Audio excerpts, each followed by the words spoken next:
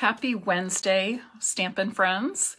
I'm glad you're here. Welcome to Stampin' Peace with Mary Knabe. Um, I've got a great project for you uh, this evening that I think you're really going to like and uses one of our, two of our new products um, and something a little bit different than a card tonight. But I want to give a shout out or reminder, big shout out for our new annual catalog um, filled with great things. If you don't have a Stampin' Up! demonstrator and you are in need of a catalog, please contact me. I would be happy to send you a complimentary catalog and earn your business. Um, if you are a customer of mine and you have not received one at this point, please let me know so um, I can check on that and possibly get another one out to you. um, I do have one class to go happening right now, and that is with the Wild and Sweet stamp set. Wild and Sweet. And with option one, you will get the um, Wild and Sweet stamp set. You'll also get a package of the lovely Layers Vellum, which is really cool. There are some, there's 20 pages that actually have something on them, and then 40 pages that are, or 40 sheets, I should say, that are um, just plain. And they're already pre-cut five by three and three quarter inches. So they are great for layering in scrapbooks, great for layering on cards. I've made lots of cards with them already. Um, and it, I just love that I can pull that size out and then um, work that in as a layer on my card fronts. With the Wild and Sweet class to go, um, so that's option one, you get that, plus supplies to make eight black and white cards, or four black and white cards, a total of eight cards. And four would be black and white, and then two or four, I don't know what's the matter with my numbers tonight. Four would um, be cards made with some color on them. So a total of eight cards. Um, so option one, stamp set, the Lovely Layers Vellum, supplies to make eight different cards. And of course, the PDF tutorial and shipping is included in the price, which is $48. If you already have the stamp set or you're a demonstrator and would like to put the um, Wild and Sweet stamp set on your own demonstrator order, option two is available. All the same things without the stamp set. And then finally, the third option is always a uh, PDF tutorial, which is sent by email and that's $15. And I should note that Stampin' Up! has um, an in-color starter kit promotion happening right now. And um, I want to mention that, first of all, because all of my Mary Stampers team members have access to my Class to Go PDF tutorials for free. Um, and many of them are taking advantage of that um, those free tutorials. So that's a perk you get for joining my team in particular. The In Color Starter Kit promotion costs $99 plus tax. Everything ships free. You get to choose $125 of Stampin' Up! product, and then Stampin' Up! is adding in another $66 worth of product that um, features the in colors, the new in colors. Um, there's cardstock, ink pads, uh, grid sheets. Can't think of what the other, or maybe DSP is the fourth one, but four different products featuring the in colors. So grand total, you're getting $191 of product and you're paying only $99 plus tax and that all ships free. And shipping on that, I did the math, would be $21. So that's another savings on top of that. I would love you, love to have you join my Mary Stampers team. Um, we just have a, a fun time, great people, caring, sharing people, and we get some perks and gifts along the way as team members.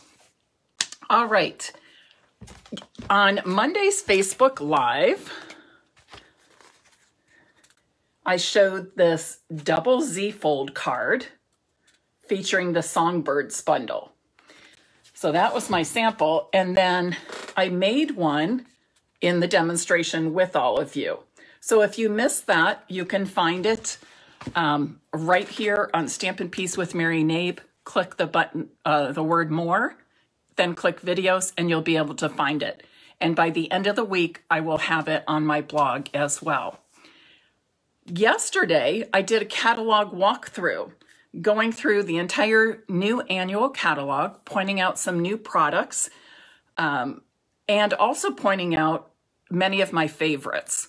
So that's always a fun thing to do. If you missed that, it's also right here on Stampin' Peace with Mary Knabe. Hit the more, word more, then videos, and you'll find it right there. With that Facebook Live for the catalog walkthrough, I said I would be giving away a fern embossing folder today. And to get your name entered into that drawing, you needed to, um, once the live was finished, you needed to tag somebody you know that you think would like um, my page or and or would like to see that new catalog walkthrough. And I had several people, can you hear that? I had several people um, participate in that. So I'm going to draw the winner for that right now. And the winner is Lori Hall. So Lori Hall has won the Fern embossing folder. I don't know if she's on tonight or not, but she is a frequent viewer and she also um, really likes my classes to go.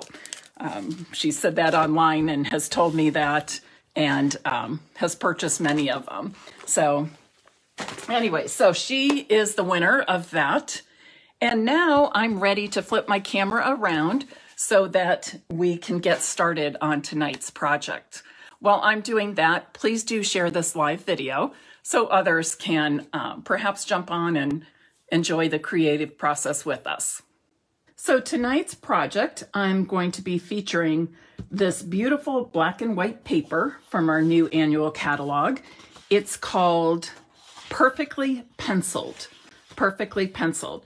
So you can see on each of the six sheets on the one side, there's flowers and leaves, large and small. And then if you flip it over, we just have some other fun black and white prints and patterns to use.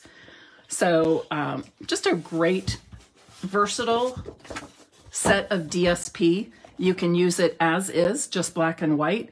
You can add a little bit of color. You can color everything on there if you want. You can blend in some background. Um, you might even use your um, blender pens to color some of the stripes or some of the polka dots or flowers. You can use uh, blender pens. You can use whatever your heart desires to customize this paper if you wish. I'm a big fan of black and white with a pop of color. So that's what I'll be doing tonight. In addition to that DSP, I'm also using a couple of uh, stamps from the Happiness Abounds bundle. And this is part of the Hues of, Happiness suite in the new catalog, which people are really, really liking for all its colors. So what I'm going to be showing you today is basically a cash card. My niece is graduating from Ohio State, um, their nursing program this Sunday, so I'll be attending that. And um, I have decided she's she's got a job lined up, and then she's going on to nurse practitioner school, and she's getting her first apartment by herself ever. She's had lots of roommates in the dorm um, apartments, whatever. But she's getting her first apartment by herself this time. So I thought, you know, I'm going to give her a little cash. Maybe she can buy something to use in her new apartment. But I wanted to make it something special, make a nice presentation of it. Um, and we've made lots of gift card holders in the past, but I think it's been a very long time since I've shown a cash card. So that's what we're going to do now. My cardstock that I'm starting with is eight and a half inches by seven inches. Okay, eight and a half by seven. So you can basically just cut off a four inch piece from your eight and a half by 11 cardstock or pull out the arm to cut that. So with this, then I'm going to um, have it in a horizontal position. So the long side is at the top and I'm going to score at two inches and five and a quarter.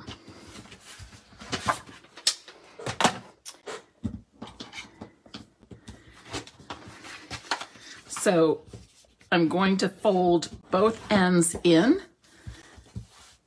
This bottom smaller flap is going to be what makes the pocket to hold the cash. And then this is the top. And I'm going to do a belly band on here. So if you don't know what a belly band is, this is a great time for you to learn. I've cut two pieces of basic white cardstock that measure six and three quarters inches by, let me double check, three inches, I believe. Yes, three inches. Okay, six and three quarters by three inches. One is for the front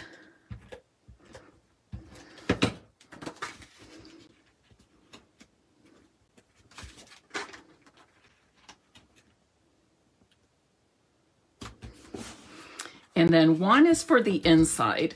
You don't necessarily have to put something on the inside. If you're maybe putting a tag on the front, you know, to Allison from Aunt Mary, something like that. But I want to be able to write at least a small message, and there's not going to be a lot of room. But nonetheless, I still want to be able to write a personal note in there. So before I seal up the pocket, I'm adding this piece of basic white cardstock. I'm not quite ready to punch this yet, and I'll show you why. I have a six and three quarters by one and three quarter inch piece of white that's going to go here as a layer.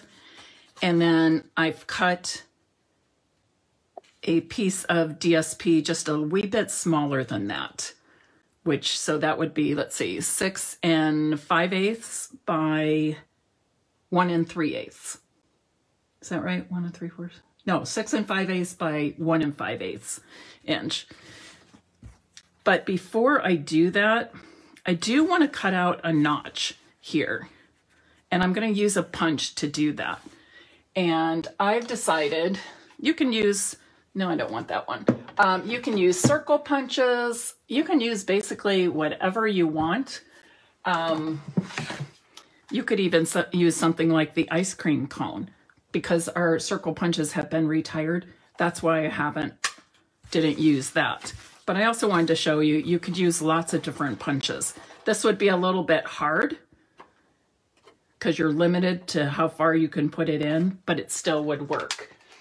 One that I like to use for this is this punch. Well, and I, I probably use this one just as often too. The fancy label punch. And then you can use a small part of this as well. And this is the, no, this is Label Me Fancy. I always say that wrong. And this is Label Me Lovely. So I'm going to do that now. I'm just going to eyeball it. I want to put this right in the middle, but if you want to measure it out, feel free to do that. Then I'm going to take that white and I'm going to put it right where I want it. Well, I shouldn't, I, I'm going to line up the edges. That's where I want it now. I'm not going to adhere it. It's going to be adhered differently but I want to make sure that I punch through this layer and I get it punched so it lines up with the base of my cash card. I want all of the layers here to line up. And if you don't want to do a cutout, you don't have to. It certainly is an easy way to still, um, you can still make a pocket without using a little punch out. And trust me, any college kid is going to be able to pull that cash out. they don't necessarily need a little little finger hole to help them. So you, if you feel like you want to leave that part out, you can. I think of it as sort of a, a decorative part more than I do a necessary part. And again, you can use uh, circle punches, um, oval punch. Either of these choices are limitless or just limited to what you have, I should say. Now I'm going to adhere these two together and then I'm going to put them right here on this inside flap that I'm going to use to make the pocket. When you adhere these, I want you to be cautious that um, because if you don't have this exactly centered and you start putting adhesive on the wrong side, no, it looks pretty well centered. But if you were off a little bit, then that would show up if you have your pieces backwards, okay? Um, Jenny, the reason I don't adhere first and then punch is that the punches are made to punch one layer of cardstock. Punching two layers or two layers plus DSP is too much for the punch. And it would be very hard to punch physically. Plus, it could damage your punch also. So that's why I do one layer at a time. You could even do, um, use like a temporary adhesive if that helps you, or just put a teeny tiny bit of adhesive to hold it in place. And then you could pull that off, pull off the piece of cardstock or DSP and position it once you've punched.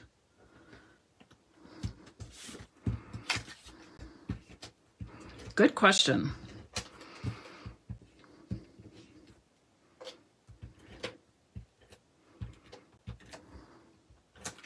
And you'll really find that true of all punches. Um, sometimes you might be able to, depending on the punch, if it's not, um, doesn't have too many cuts or too many small cuts it needs to make when it's punching. Sometimes you could um, do two layers of cart of two layers of DSP, but I would never ever suggest that you do two layers of cardstock at once with your punches. All right, so now that I have that in place, I just find it easier to work with to keep everything lined up to put my DSP on that flap before I fold, but it's not crucial. It also helps me to remember to do um, the punches if I want them. So I'm just holding those ends down. You noticed that I put just a very narrow line of glue on.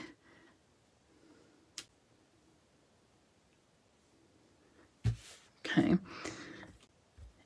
And that's because I want, um, don't want to make the pocket any smaller than it needs to be. Now,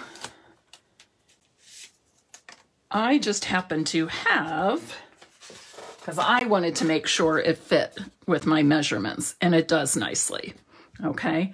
And then you can see I can write, you know, congratulations, Allison, love Aunt Mary right here, and she'll pull it out and it'll be written nicely there and it'll be a little extra surprise when she pulls out her cash.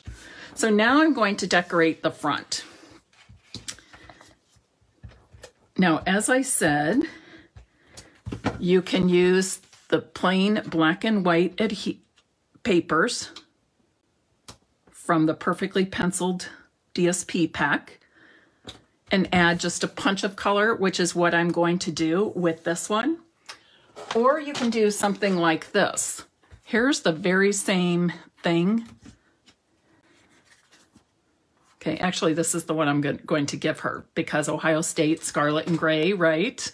So I'm colored in the flowers. It's the exact same paper.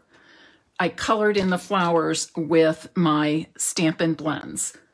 Um, and this is the Real Red Stampin' Blends. So now I want to cut a strip of DSP that I'm going to use for the belly band. This is three and a quarter inches wide times two, so we know that is at least seven inches. So my suggestion to you is don't make your overlap too tiny. It's actually easier if you make it maybe an inch longer, inch and a half, something like that. And I'm not sure what I want to use here. Um, actually, I think I'll use this one. And I'm going to cut a one inch strip. So right now this is a one by 12, which I know is going to be too long. So I'm going to make this, I'm going to cut off three and a half inch. No, I'm going to, let's see. If I cut off three, I'll have nine inches. I'm to cut off three and a half. So that'll give me a good overlap of the ends without it being too much. Now, here's a secret. I always like to um, hide my seams. And what I mean by that is when I overlap these, there's going to be a little seam. Most people don't even notice that. Um, hold on one second. Most people don't even notice that. But I think you can just make your project a little more um, professional looking. It's just a little bit nicer um, handicraft. And I know I've already stamped my flower and leaves and a sentiment, and I know that I'm going to put this on the front on top of the belly band. So I figured for this purpose, because I'll be putting something on the front of the belly band, I'm actually going to I'm actually going to have the ends over, overlap on the front side. And that's my reasoning. Because I I know that will be covered up and sort of like um, think of it as uh, it, it will look seamless. We'll put it that way. Okay, I'm gonna try to match up the sides as best I can. And now I'm going to do, I've already stamped my flower and my leaves and I'm going to color those. But before I do that, I'm going to stamp my sentiment. And this is congratulations. Now I'm using the, the one I made earlier for graduation, but I'm sure you can think of other reasons to use a cash card, perhaps to the wedding couple. Um, could be for a birthday, uh, maybe a retirement gift. I'm sure there are all kinds of reasons. And I'm sure that no matter your reason for sending a cash card, that you will we will have some kind of sentiment for you. Okay. Yes, it's very easy to line things up when we have those photopolymers. Okay, so now I'm ready to color the flowers and leaves. I prefer to start with the dark shade of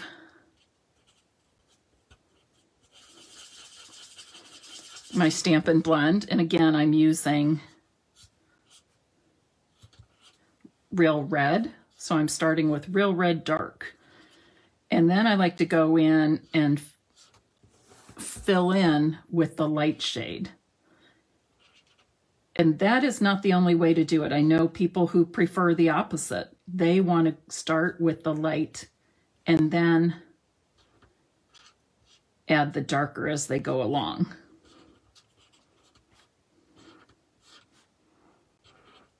These blending um, blender pens Stampin' Blends. I'm calling them the wrong name. Um, these Stampin' Blends are really, I think, quite forgiving because you can always go back and add more of either shade. So now I'm just going to fill in with Real Red Light. And the idea behind these Stampin' Up! blends is that when you blend both shades, or even if you use multiple colors, that one color or one shade flows right into the next.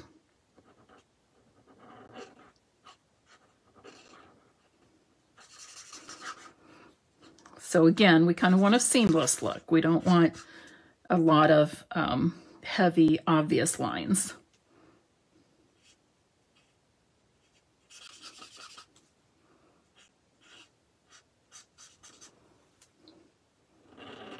Stampin' Blends are my favorite coloring tool, I will say that. I own them in every color and I use them lots and lots. My second favorite coloring tool, I think, would be the watercolor pencils. So now you can see in there, there's some different shades. If I want to make some of those areas even darker than they already are, I can still do that by adding more of the dark shade.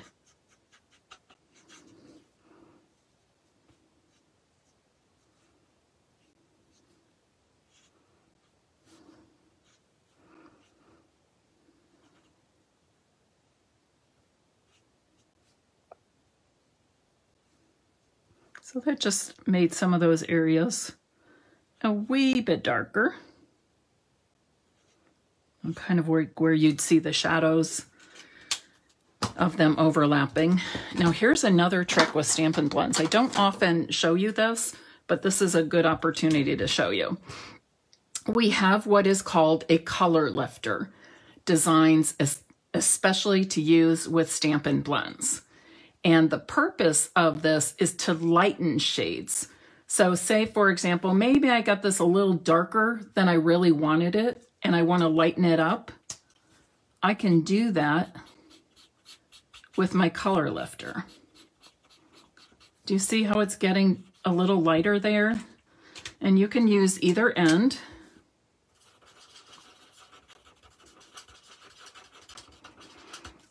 So again, I don't use this often, but I love having it so that if I do want to go back in and lighten just a few areas, like on some of these petals, it happens. And you just do as much or as little as you want.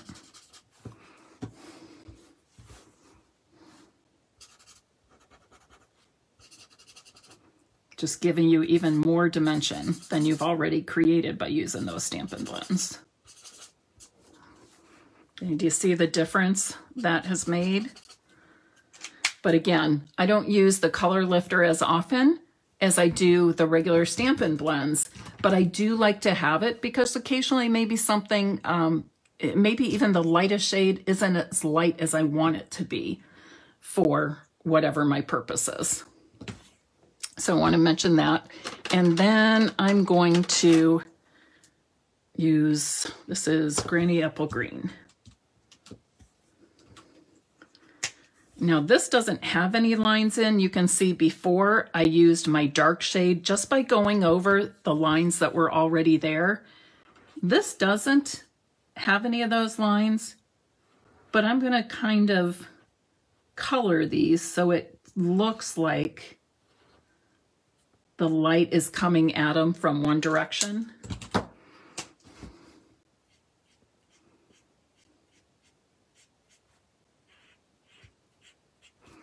And then you can see how I start and there's a, I can see the line between the two shades. Just go back in a little more and that softens that. Okay, do you see how that is? Really nicely blended. You see different shades of the same color there. So now I'm ready to die cut these. Um, somebody asked a question here. Oh, does it bleed through? Okay, I was working right here on my surface. You can see I have no ink there, but it does bleed through to the cardstock. So if you have a white card base, you would not want to um, stamp and color with the Stampin' Blends directly onto the card base because when they would open the card, they would see it. So um, you always, no matter what you're coloring with Stampin' Blends, you always want to make sure it's going to be sitting on something else. Okay. Another good question. Yes, it bleeds through the paper, but not onto your work surface or, you know, if you would have happen to have a paper behind it or something. I'm going to use a couple of the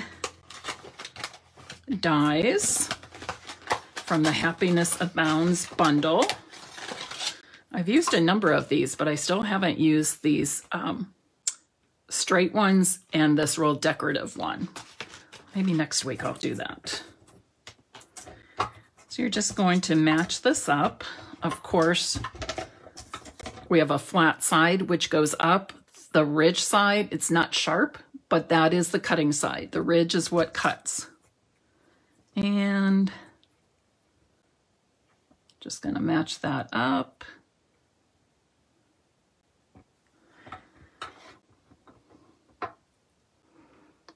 If you want to, you can always add a little bit of washi tape to hold your dies in place.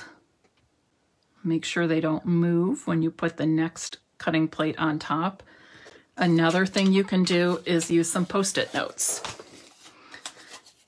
and hold them like that, which is what I'm going to do. So I'm going to set this one. I'm going to use the same post-it note to hold both in place. So I'm going to do that. And then, oops, didn't quite leave enough room to catch the other one. Again, washi tape is awesome. Um, the washi tape is stickier than the post-it notes. Probably because these are cheap post-it notes I use. um, but if you have something that's stickier, only put it on the edge, the outside edge of the die and beyond. Does that make sense? Because if you pull with washi tape, um, it uh, there is a chance, depending on the quality of the washi tape, there is a chance that you can rip the image. So I would suggest with washi tape, you always put it around the outside of the die instead of going across the stamped image. I'm just going to fold this. And you know that when uh, most often I want to hold my dies in place that I do use the washi tape, but I wanted to show you tonight another way to take care of that problem, to solve that problem of dies bouncing around possibly. Also, I always think it's easier to color before you die cut and punch. The reason being you have more to hold on to rather than holding on to the part you're coloring, okay? So that's another quick, quick tip color first, then punch or die cut. So now I'm ready to finish this off on my belly band. I'm going to put my flower right there, I think. And I'll probably add my leaf over here. I guess it could go the other way. Now, the purpose of the belly band is to hold this all closed, okay? So when you put that belly band around, you want it to be snug, but it should be able to slide freely. The other thing is if you, whatever you're adding to the top of your belly band, make sure the adhesive stays on the belly band only. So typically I put the adhesive on what I'm pressing down. So to do that, I just need to think about where I'm putting this and where I need my adhesive to go. And I'm going to use dimensionals for this because what's a card without dimensionals, right? You knew that. You knew I was going to pull out dimensionals, right? How many of you knew that, expected me to, to pull out dimensionals at this point? There aren't too many secrets with me. Not too many secrets in the Stampin' Peace studio. I share all with you. Okay, I'm to put it there. Pretty much right in the middle, I guess, or nearly in the middle. And I think I want my leaf right here. Now again, I only want to adhere this to the belly band. Otherwise, that belly band is not going to be able to slide freely. So this time, I'm actually going to put this on with a glue dot. And I'm putting the glue dot right on that tip so that that's all that will be adhered. I want to make sure that's where I want it. Yeah, that is. So press it down and now I can check myself. All the adhesive is in the correct place, so it's not going to interfere with that sliding. And the last thing I need to do is add my sentiment. And I am going to cut off just a little bit of this end. I want to leave enough that I can adhere it to the belly band. Now, if it's too long for your card, if you don't want it hanging off, I'm going to actually be handing Allison's to her. So I don't care if it's hanging off a little bit, but if you're mailing it, and this will fit like in a business or letter envelope, or you can make your own envelope from DSP. If you Google that or look that up on Pinterest, it's real easy to find. But again, I want to make sure this is only adhered to my belly band. Maybe I should have put this down first, actually, the more I look at it. So I'm just going to put a couple of glue dots in those corners that I know will sit on the belly band. I kind of like that at an angle. Don't want to cover up that C too much. And I can press that flower back into place. So now I have that. And really, it looks just as beautiful if you have this off-centered with a tag coming out. If you don't have a tag at all, you can put it in the middle. Or if you're just handing it to the recipient, it's okay too that it hangs off. So, you know, just think about that when you're making it and putting it together. Now, do any of you have an occasion to send a cash gift or to give a cash gift? Type in the comments maybe reasons why you would send. My first thought was weddings. Um, usually I do a um, cash for the couple getting married. Now let me also show you, for anybody that came on late, let me also show you what it looks like if I colored in all of the flowers on front. Your granddaughter's graduation, yes. Okay.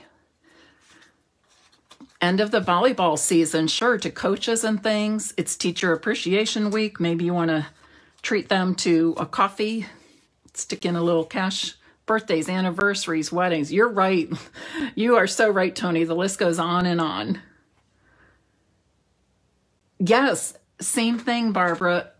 At Christmas, I make loads of gift cards, uh, gift card holders, I should say. But here's here's the very same thing, but I colored in the background. And I think both are beautiful. And I'm going to be giving this one away. I'm sorry, but I have to take the $100 out.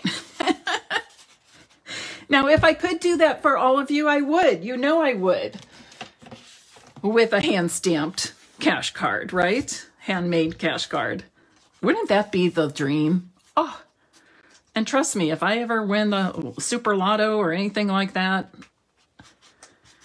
I will share. My family knows that. Okay, I'm ready to give this um, cash card holder away. So if you would like to win this, please comment. Oops, what was it called? It was called Perfectly Penciled. There it is. Put Perfectly Penciled DSP. Okay, now a funny thing is happening. People started coming on, and, and there's a number I can see on my screen that tells me how many people are watching. And the number went up to, I don't know, 10 or 12 at the very beginning. And I kept seeing people get on, and all at once I looked up and there were, it only says two. And I thought, oh my gosh, did all those people leave? So I'm so glad to see you commenting to know that you didn't all leave. Facebook can do weird things to me at times. I just was looking to see if I missed any questions. Don't think so. But I do have a special announcement. Lori Hall jumped on late. She's on most of my lives. Um, but Lori Hall, you missed me choosing, um, drawing the name for the winner of the Fern embossing folder. And Lori, you are it. So I will be putting this in the mail to you this week. Are there any questions about this? I think this time of year with graduations and weddings and all kinds of things happening, year end, school year end, um, the need for gift card holders and cash card holders can be great. So um, I hope you will take some time and make one of these. It really is very, very easy. Okay, really is very, very easy. And I have a different kind of cash card to show you. I'm not sure if it's going to be Friday or Monday because um, I also have a fun fold that I had planned for this Friday. So I'm trying to decide. I might switch those around. But I have a different kind of cash card holder to show you. Uh, same size, but totally different totally different. And that one's going to amaze you. Also very simple to make. All right, everybody, I'm going to say good night. Um, if you have any questions regarding Stampin' Up! needs, products, um, the catalogs, please let me know. If you need the information for the, the uh, Wild and Sweet class to go, please let me know that as well, or you can find it on my blog, stampinpeace.com. Alrighty. Have a good night, everybody. Oh, I have other good news, personal good news.